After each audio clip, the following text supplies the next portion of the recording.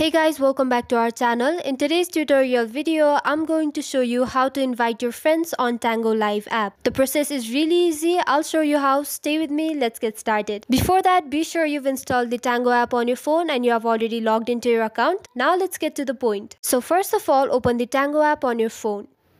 You'll see this page on your screen which is the home page of the app. On the home page, you'll have to tap on your profile picture icon at the top left corner. Now you can either tap on invite friends option or you can go to settings. Once you go to settings, you can see the option invite to Tango. Go ahead and tap on it.